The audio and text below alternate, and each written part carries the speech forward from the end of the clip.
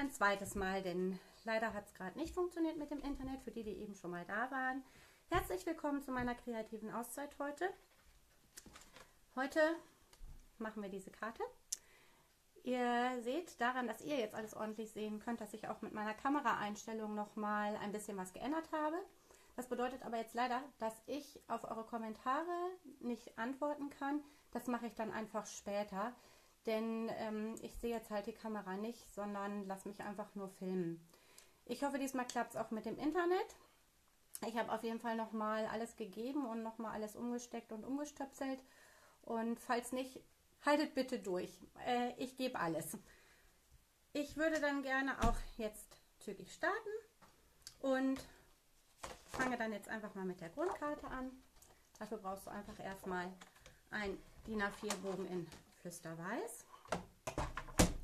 Den schneide ich jetzt einfach bei 21 cm ab.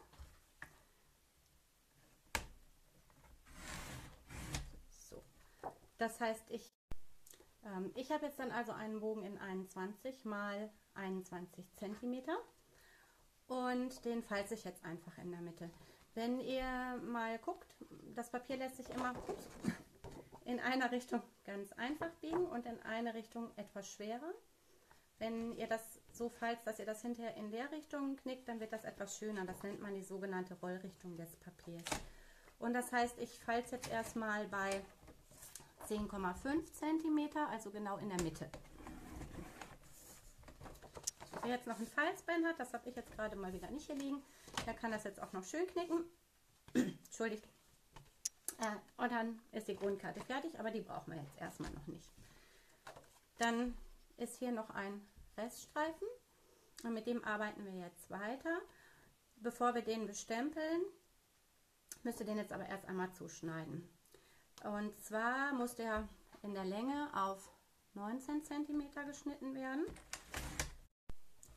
Ähm, ja, jetzt habe ich leider nicht gesehen, wann das Internet gerade weg war. Also nochmal, in der Länge auf 19 cm zuschneiden. Und in der Breite, das ist jetzt nicht mehr sehr viel, ist nur so ein schmaler Streifen, den ihr abschneiden müsst, muss das dann 8,5 cm breit sein. Also ist wirklich nicht viel, was da weggeht. So. Und mit dem Stück arbeiten wir jetzt als erstes. Ich hatte euch ja gebeten, die Liebeleien und die Garden in Blooms rauszuholen für heute. Könnt ihr natürlich mit jedem anderen Set machen. Also das ist völlig egal. Sucht euch einfach was aus, womit man schöne Hintergründe machen kann. Ich fand das auf der Karte halt sehr schön. Außerdem habe ich da viele nette Kommentare zu bekommen. Und deswegen habe ich mir gedacht, bleiben wir heute auch dabei. Allerdings ist mir dann beim Zusammenräumen vorhin aufgefallen, dass ich noch ein Stempelkissen vergessen habe. Und zwar, ähm, ihr bräuchtet zusätzlich noch das Stempelkissen in Grau oder ein Stempelkissen in Grau. Könnt ihr auch gerne schwarz nehmen für den Rand hier von der, dieser Libelle, die ich benutzt habe. Ich nehme immer lieber Grau, weil ich das nicht so mag, wenn das immer so richtig dominant nach außen sticht. Und das Grau finde ich ein bisschen dezenter und zarter. Ähm, ja, dann können wir eigentlich schon starten. Also ich nehme als erstes mal die Libellen. Ich habe jetzt das Glück, dass ich hier noch meine Karte habe. Ich zeige sie euch noch mal eben. Also ich würde das jetzt auch gerne wieder so machen, dass ich die Libellen da in die Ecke stempel. Ich muss mal gucken, welcher Stempelkreuz da jetzt der beste ist. Ähm, ist halt nicht so ganz so. Ich nehme jetzt einfach den, auch wenn die Libelle nicht ganz drauf passt. Und fange jetzt einfach mal an. So. Leider haben meine Tricks nicht geholfen und ich sehe, das Internet geht doch leider zwischendurch immer wieder weg. Äh, haltet bitte durch. Ich würde mich freuen, wenn ihr weiter mitbastelt. Ansonsten schaut euch einfach hinterher das Video an. Das Gute ist, dass Facebook das dann schneidet und dann sind diese Ausfälle halt nicht mehr dabei. So, also, jetzt kann ich endlich starten mit der Libelle. Und ich mache sie jetzt einmal hier oben hin und einmal noch auf der anderen Seite. Also das ist jetzt mein Startpunkt. Und weil ich das ganz praktisch finde, nutze ich jetzt auch zum Füllen den passenden Stempel. Ich aber, ich mache mal eben den anderen. Äh, weg, ich bin mal kurz weg.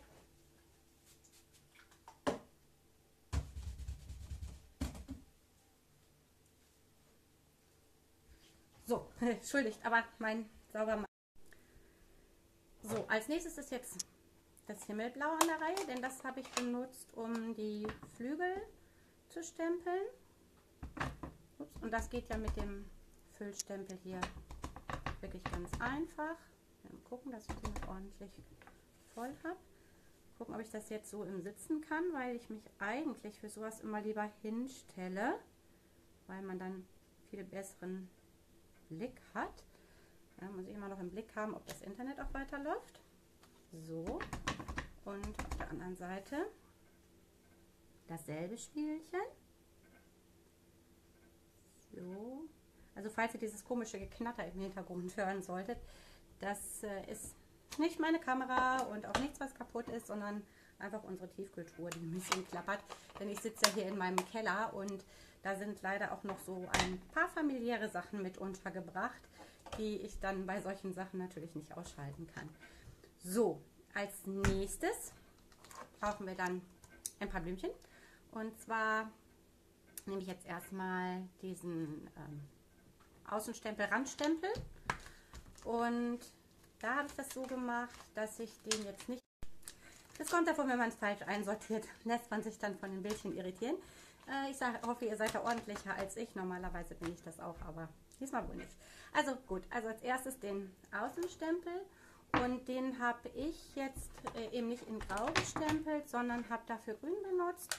Ich hatte euch jetzt Wasabi heute mal vorgeschlagen. Ich glaube, auf der Karte hier war das wohl eher ähm, Farngrün oder so. Auf jeden Fall sieht es mir nicht so nach Wasabi aus. Aber egal, heute nehme ich jetzt Wasabi.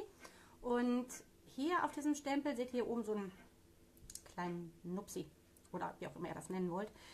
Das ist dafür da, dass man, wenn man den Füllstempel hinterher stempelt, das entsprechend ausrichten kann. Also wenn ihr euch merkt, wo jetzt dieser kleine Nupsi hingezeigt hat, dann könnt ihr das hinterher auch perfekt da reinstempeln, ohne groß überlegen zu müssen, wie das ist, denn die sind ja nicht symmetrisch. Äh, mir hilft das leider meistens nicht wirklich weiter. Äh, mir hilft das nicht weiter, weil ich meistens nicht so darauf achte, wie ich das Ganze stempel. Das ist natürlich ein bisschen blöd. Also wenn ihr euch selbst einen Gefallen tun wollt, achtet darauf. Ich werde mir jetzt mal Mühe geben, das zu tun. Ich stempel dann jetzt erstmal meine Blume einmal hier oben und dann nochmal, ich will nochmal auf meine Karte, so hier unten hin. So, und dann nehme ich jetzt den Stempel zum Füllen und mache das jetzt auch wieder mit dem Himmelblau. Aber das mache ich jetzt ein bisschen anders. Und zwar färbe ich jetzt erstmal meine Blüte ein. Und dann stempel ich die erstmal hier, oh, jetzt habe ich meine Finger auch noch eingeschmiert, ähm, auf dem Papier ab. Und dann stempel ich die in die vorgestempelte Blüte. Das hat, das ähm, hat den schönen Effekt, dass die Blüte jetzt ein bisschen heller aussieht als hier die Libellen. Ich finde das immer ganz nett, so kann man ein bisschen rumspielen. Und die zweite stempel ich dann jetzt nochmal genauso. Und jetzt ist nämlich schon wieder mein Problem, dass ich nicht mehr so genau weiß, wie ich eben das gehalten habe, aber ich glaube, es war so, ja, so passt es wohl. So. Dann kann ich das blaue Streifen auch schon wieder wegtun. Und dann sind wir jetzt so weit. Und weil mir das hier in der Mitte auch letztes Mal schon irgendwie so ein bisschen zu leer war, habe ich dann noch den Schmetterling hier aus dem Set genommen. Und bei dem kann man das auch wieder genauso machen mit diesem Doppelstempel. Das finde ich an diesem Set so toll, weil das immer so einen schönen Effekt gibt mit diesem Two-Step. Und den Rand, den mache ich jetzt. Ah, ich war mal kurz weg, wie ihr gesehen habt, aber mein Internet war ja auch schon wieder weg. Äh, Schön, dass ihr noch da seid. Ich sehe irgendwelche Kommentare. Das freut mich total. Wie gesagt, ich werde die dann später beantworten, da ich jetzt gerade irgendwie nicht lesen kann. Ich habe mir zwar so ein Hilfsmittel gebaut, dann mache ich nachher mal ein Foto, damit ich halt sehen kann, was ihr seht, aber ich sehe es jetzt auch spiegelverkehrt und das heißt, ich kann natürlich irgendwie nicht lesen und klein ist es auch. So, und äh, das heißt, wir machen jetzt einfach weiter. So, also als nächstes kommt Feige dran. Schöne neue Farbe, mag ich total gern, genauso wie die anderen In-Color-Farben, die gerade neu sind. Und damit stempel ich jetzt den Rand von dem Schmetterling. Der hat hier oben auch wieder so einen Nupsi und den habe ich jetzt auch schon wieder eingefärbt. Das ist echt blöd. Das heißt, ich muss jetzt wieder besonders vorsichtig stempeln, um hier nicht neben zu stempeln. Und ich glaube, auf dieser Karte mache ich doch auch tatsächlich mal zwei von den Schmetterlingen hin, denn die sind ja auch richtig süß. So, ha, ich habe es geschafft. Unfallfrei, schöner Rand. Passiert. Leider passiert es mir nämlich manchmal, dass wenn der Stempel innen eingefärbt ist, ich dann auch hier ein bisschen klecker, aber ich habe es geschafft. So, dann tue ich schnell mal das auch wieder beiseite. Und um jetzt nicht noch wieder abstempeln zu müssen, also habe ich mich entschieden, in die Mitte jetzt Puderrosa zu nehmen. Ich finde, das ist total schön zusammen mit Feige. Ihr könnt natürlich auch alles mögliche andere nehmen. Also probiert einfach mal ein bisschen rum. Es gab ja auch mal so einen kleinen Color Coach zu diesen neuen In-Color-Farben. Und da waren auch ganz interessante Farbkombinationen. Ich musste auch noch mal drüber gucken. Da wollte ich eigentlich immer noch eine, die ein oder andere ausprobieren. So, und dann stempel ich das jetzt einfach so rein, denn das ist ja schon hell genug. Und natürlich für den zweiten auch noch. So. Das ist dann jetzt erstmal der Hintergrund der Karte. Ich mache jetzt noch mal schnell mein Stempelkissen zu, bevor es hier umgekippt. Und räume auch mal den Stempel noch hier oben beiseite. So, der Vorteil ist, wenn das Internet zwischendurch weg ist, kann ich schon mal ein bisschen hier aufräumen und habe nicht mehr so viel Chaos hier rumliegen. Ähm, weiter geht's. Bevor wir jetzt noch die Buchstaben gleich machen, brauchen wir natürlich jetzt hier unten noch einen Zusatz, Schriftzug. Eigentlich wollte ich jetzt heute mal nicht alles ausstempeln, äh, stempeln, äh, stanzen natürlich, sondern ich wollte eigentlich Happy und dann Birthday dazu. Aber Ihr werdet es nicht glauben. Ich habe doch tatsächlich keinen Birthday-Stempel gefunden. Also nichts, wo ich nur das Birthday jetzt hätte nutzen können. Unglaublich. Also ich muss, glaube ich, noch mal intensiver durch meine Stempel gucken. Heute Morgen habe ich jedenfalls da nichts gefunden. Also bleibe ich mal wieder bei dem ähm, Alles. Wäre eine Möglichkeit, denn ähm, in dem Set hier, ähm, Moment, äh, wie heißt Alles Liebe Geburtstagskind. Da findet ihr einen passenden Stempel, den ihr super nutzen könnt. Und zwar gibt es hier unten spiegelt jetzt total. Äh, könnt ihr das lesen? Alles Liebe. So, aber dann habe ich gesehen, da gibt es nämlich nicht nur dieses Alles Liebe, sondern hier gibt es auch noch Heute ist dein Tag. Und da habe ich gedacht, das probiere ich jetzt mal aus. Dann habe ich nämlich wenigstens ein bisschen andere Karte. Und dazu, dann natürlich jetzt erstmal den Stempel. Ähm, heute ist dein Tag.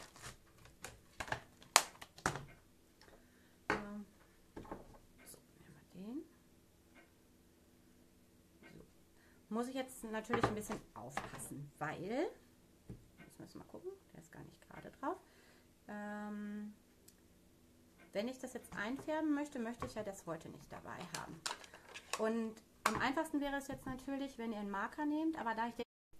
Also, zeige ich euch jetzt einen kleinen Trick, was ihr machen könnt, wenn ihr keinen Marker habt, denn man kann das genauso gut mit einem Stempelkissen machen. Also ganz einfach wäre, wenn man das irgendwie mit einem Post-it abdeckt oder so, aber ich finde, das geht auch immer so.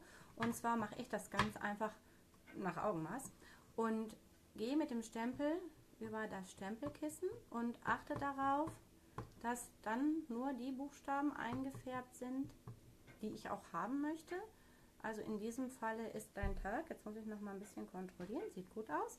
Also, hm, ja, ihr könnt das nicht sehen. Okay, also ich äh, gehe noch mal ein bisschen drüber, damit genug Farbe drauf ist.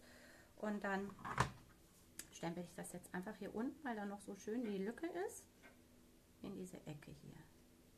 Und da ja der Rest nicht eingefärbt ist, kann man da auch einfach so stempeln.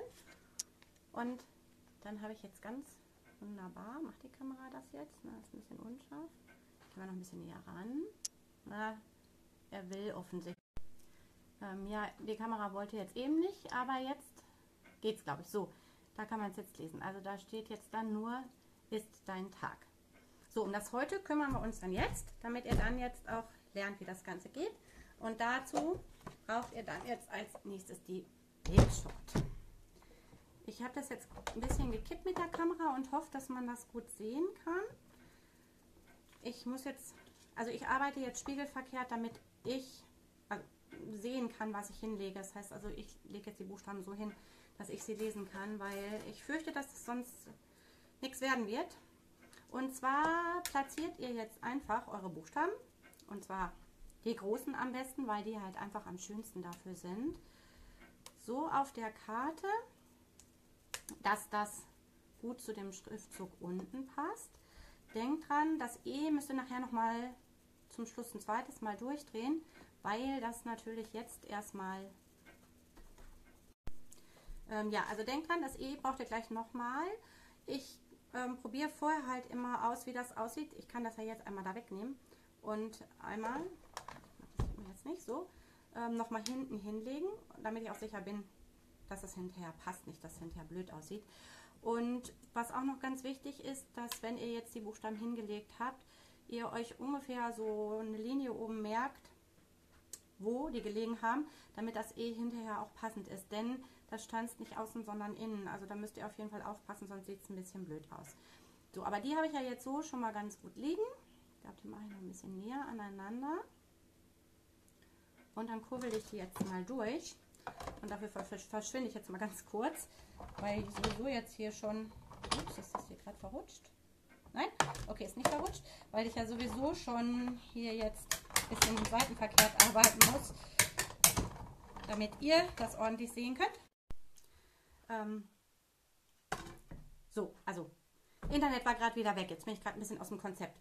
Oh, mein Tee ist natürlich ein bisschen verrutscht, aber egal. So, das heißt, die haben wir jetzt so durchgedreht. Ich gucke mal, ob ich das, so ich halte es mal so hoch. Dann seht ihr es zwar spiegelverkehrt.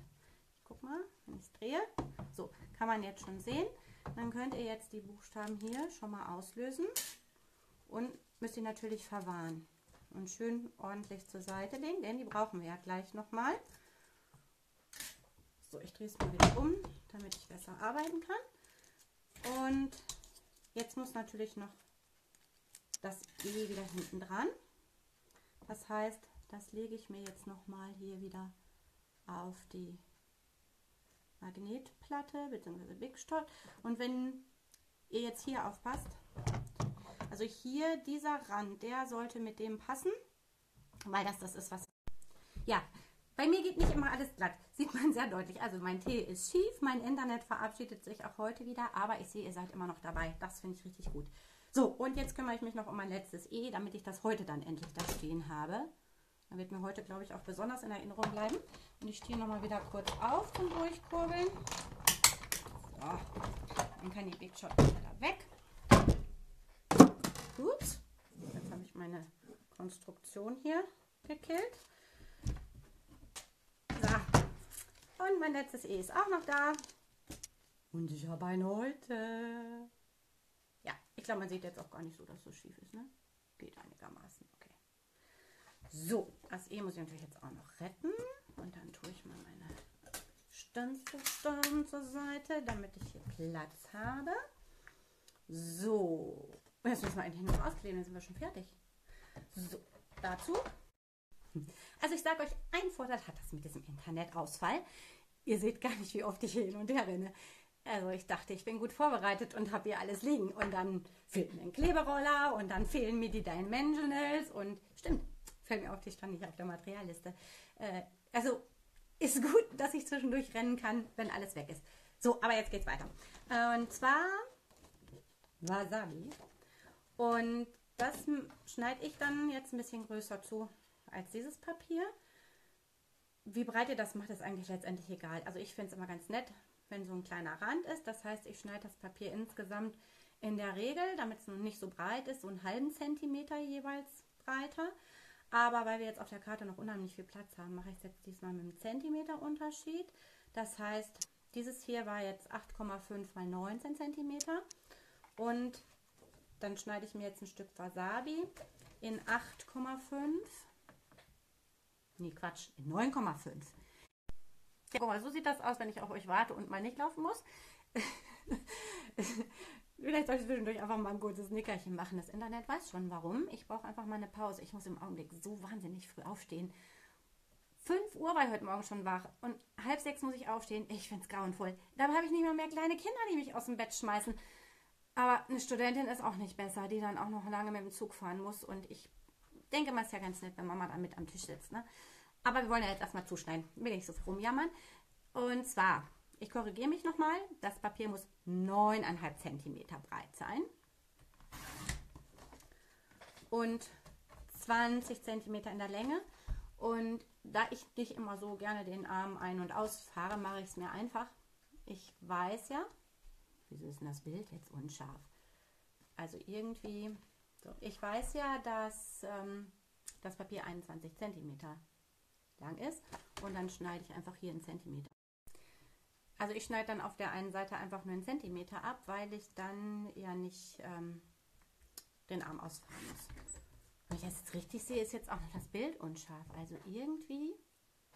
Uh, ah, jetzt hat mich die Kamera gefunden. Wunderbar. Bin ich so dunkel oder so. Ähm, ja, auf jeden Fall können wir jetzt kleben.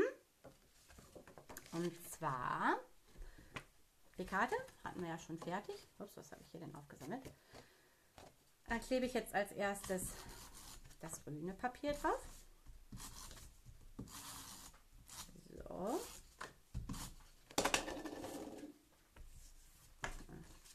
Nicht so ordentlich in der Mitte gefaltet.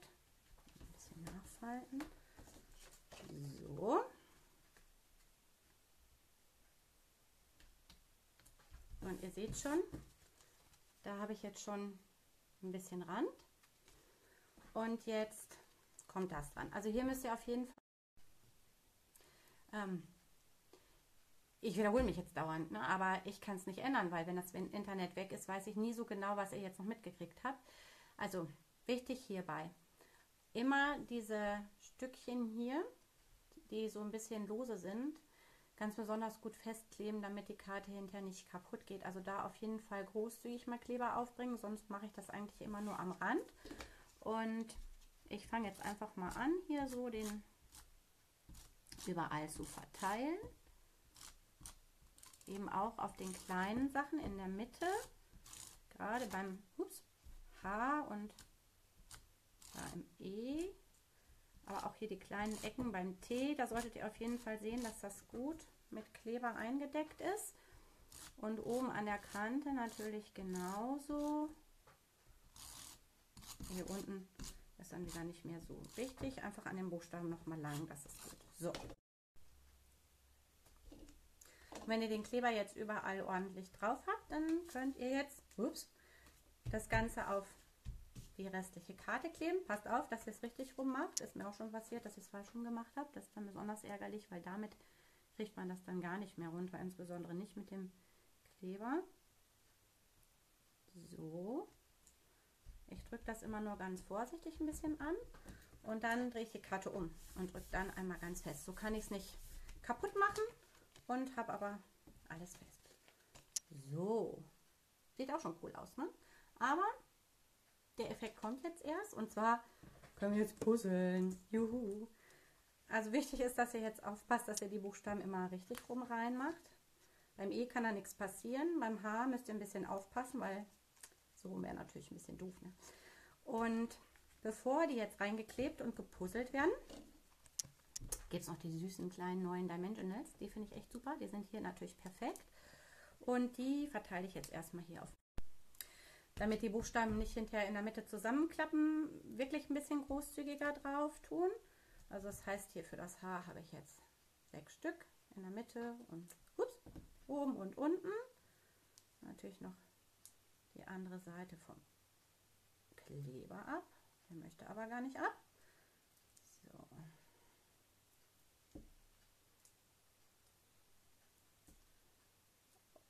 Und dann noch mal kontrollieren, dass es ne, auch richtig rum ist. Und dann den Buchstaben schön in die Stanz oder in das Stanzloch, jetzt habe ich auch schon Sprachstörungen, einkleben und tada! Also wirklich ganz einfach. Ne? Ähm, ich mache dann jetzt einfach mal munter hier weiter. als nächstes mein E. So.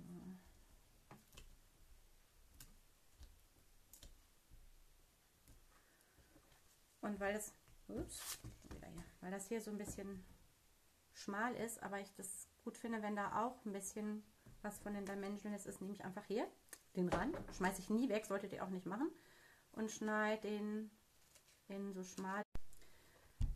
Den Rand schneide ich dann in so schmale Streifen, die kann man dann nämlich auch noch an die Kanten kleben. Auch wenn die jetzt schon sehr, sehr schmal sind und klein sind, gibt es ja doch immer noch vielleicht die eine oder andere Ecke, uh, das ist ja sogar so geschnitten, noch knapp, wo es noch ein bisschen schmaler sein darf und kann. Und da finde ich, kann man dann den Rand einfach gut verwerten. Also bloß nicht wegschmeißen. Ne? Ich verwende halt immer alles von den. Die gehen erst wirklich in den Müll. Wenn nur noch die Trägerfolie übrig ist, mehr brauche ich nicht für den Müll. So, jetzt mal gucken. Uh, es klebt an meinem Finger. Ich glaube, hier muss ich jetzt einmal ein bisschen abschneiden, weil es doch noch zu groß ist. Und, oh, jetzt sehe ich. Ha, also beim E doch aufpassen. Es gibt zwei. Jetzt hätte ich fast an der falschen Ecke geklebt, aber da das Muster hier sehr eindeutig ist, habe ich es jetzt zum Glück noch gesehen. So, also das E gehört da. So, und jetzt habe ich das andere E. Ich habe schon mal ein bisschen weiter geklebt mit meinen Dimensionals, während das Internet sich mal wieder verabschiedet hat. Ich hoffe, ihr seid immer noch da und bastelt immer noch fleißig mit. Oh, ah, hier hat sich doch tatsächlich ein Stück von unten mit abgebissen. Das hatte ich auch noch nie. Okay, läuft da mal was Neues. So, dann kann ich hier auch schon mal runterfitzeln.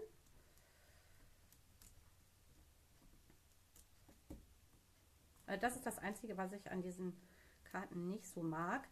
Hier immer diesen Kleber auseinanderziehen zu müssen. Mein Gott, dabei habe ich schon meine Fingernägel extra nicht geschnitten. So, und dann kann ich das E jetzt auch einpuzzeln. So, und dann noch mein U. Uhuhu. So. An den Kanten hier nochmal das dünnere zu nehmen, weil diese Seite von dem U doch ein bisschen schmaler ist. So, und mal gucken, ob ich das jetzt auch hier gut reingepuzzelt kriege. So, ups, das ist ein bisschen schief, was hier passiert. So, und dann bleibt jetzt nur noch unser Tee. Und dann sind wir auch schon fertig. Ich glaube, das wird dann auch Zeit, weil es vielleicht ja jetzt klappt, die letzten paar Sekunden dann mal mit durchgängigem Internet zu arbeiten. Also bei dem Tee mache ich jetzt hier an den Kanten auch noch ein bisschen was, aber dafür schneide ich mir jetzt lieber einen von den Dimensionals durch, weil ich glaube, dass es etwas besser passt. Aber ich fürchte, wenn ich das nicht mache, kippt mir das Tee an den Kanten dann hinterher. So, die letzte Tat für heute. Das Tee, es ist geschafft. So. Und die Karte ist fertig. Yeah! Also für alle, die durchgehalten haben, trotz Internetausfall, vielen herzlichen Dank, dass ihr die ganze Zeit dabei wart, auch mit kurzen Pausen. Alle anderen haben ja zum Glück die Möglichkeit, sich das Video ohne die Pausen anzugucken. Geschnitten durch Facebook mit Wiederholungen von Sigrid oder wie auch immer. Ich werde weiterhin versuchen, das Thema Internet zu bearbeiten. Ich kann euch natürlich nichts versprechen freue mich aber trotzdem, wenn ihr auch das nächste Mal wieder dabei seid und möchte noch mal darauf hinweisen, dass ich jetzt dienstags immer noch zwischen meinem Live-Bastel-Event donnerstags einen kurzen Tipp für euch haben werde. Da werde ich auch immer mal kurz live sein. Spontan, was mir einfällt, als Tipp oder Trick rausgeben. Da gibt es tausende Sachen, denke ich. Und ich werde dann immer spontan entscheiden, welchen Tipp ich euch gebe werde ich davon abhängig machen, was mir gerade so über den Weg läuft. Ich freue mich, wenn ihr auch da kurz reinschaut. Das wird dann allerdings kurz und knackig sein. Und ansonsten gibt es das nächste Live-Bastel-Event am nächsten Donnerstag. Wahrscheinlich wieder mit Internetausfällen, aber ich hoffe, ihr haltet das durch und nutzt die Zeit zwischendurch genau